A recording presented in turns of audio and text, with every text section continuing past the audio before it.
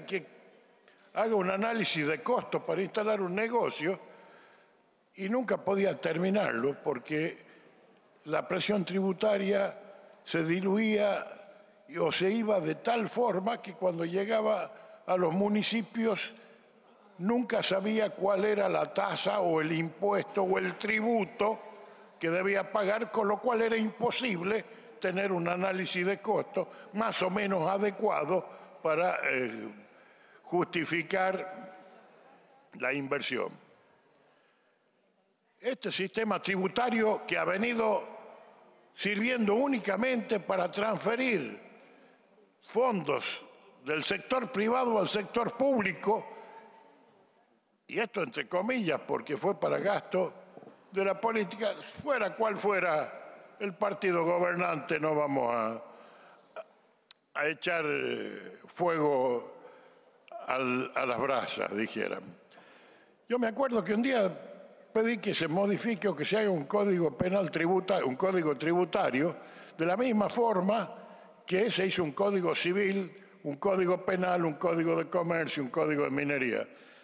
Me dijeron que no, y esto es muy simple, porque la ley 11683, que es la ley de procedimiento tributario, sirve al solo efecto de recaudar.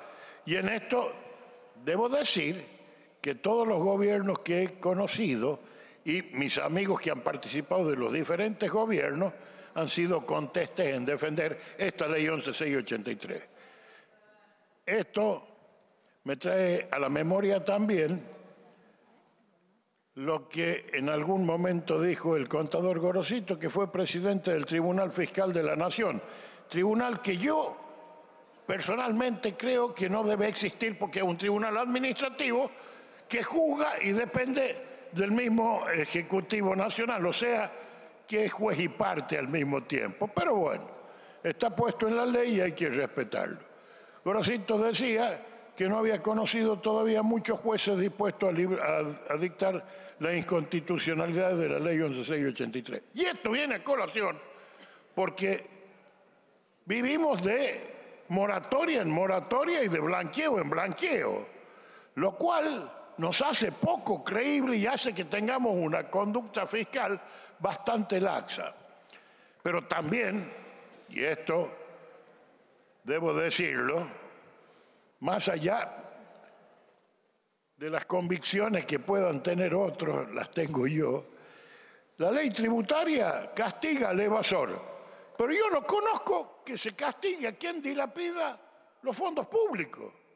En otros países, el que dilapida o gasta mal los fondos públicos, dice está gastando mal los dineros de los contribuyentes. Esos van a la parte común del Código Penal y tienen un procedimiento especial.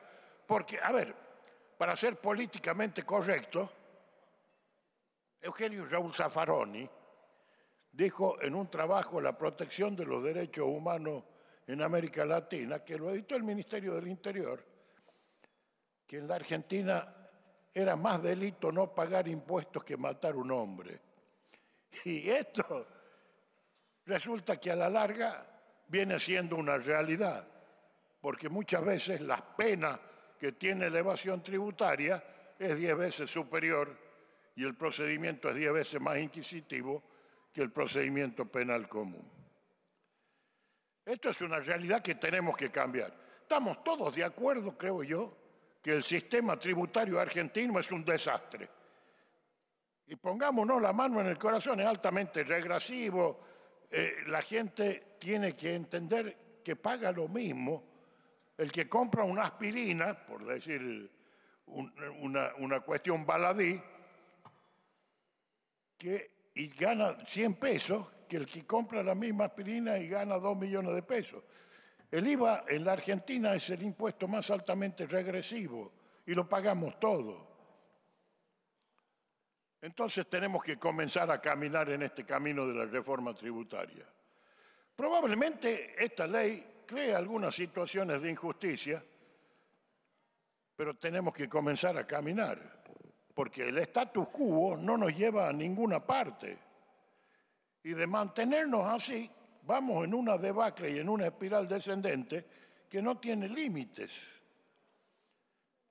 Entonces hay que tener en cuenta las penalidades que esta ley tiene y hacer respetar en su momento, desde esta banca o de donde fuera, los límites que esta ley contiene también para evitar los nuevos y futuros blanqueos que espero que no lleguen. Porque es cierto, cada gobierno tiene su blanqueo y cada gobierno tiene su moratoria. Pero también vivimos en un país que se paga anticipos de ganancia. Y cuando no se gana, es decir, el viejo impuesto a los réditos ha sido suplantado por un sistema absolutamente autoritario y que lo único que hace es transferir recursos de los ciudadanos hacia el Estado.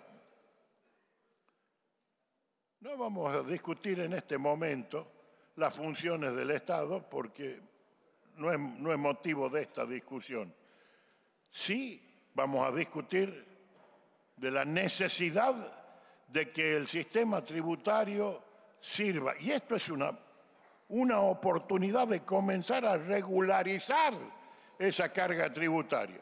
Porque también tenemos que tener presente que cada derecho que uno reconoce u otorga, como dicen algunos, tiene su costo.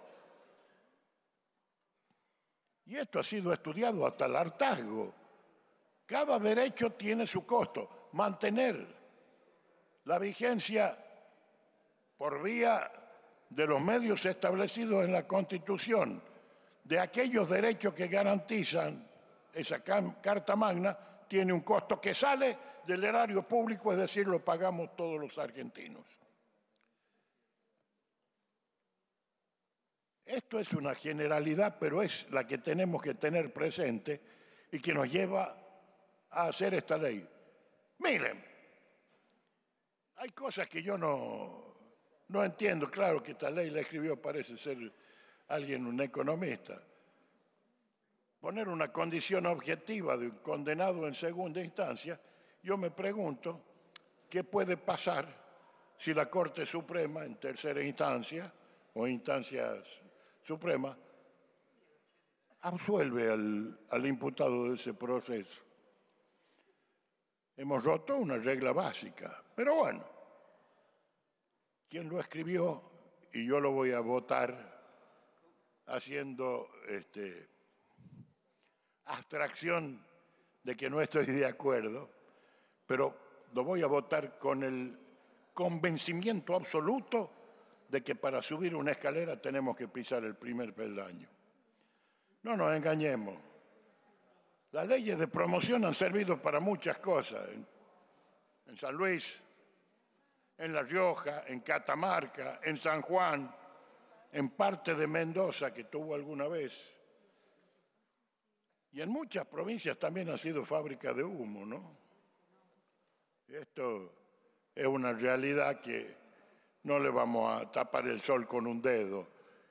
Y poniéndonos la mano en el corazón sabemos que ha sido así. Pero bueno, comencemos a caminar a ver si podemos hacer un sistema tributario que sea justo. Porque si no tenemos un sistema tributario que sea justo, entonces no vamos a poder ir a ningún lado.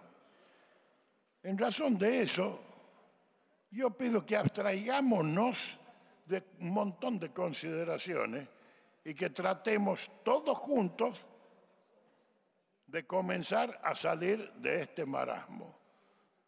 Ya no vale la pena echarnos la culpa los unos a los otros. La historia ya, ya nos puso la carátula y el rótulo.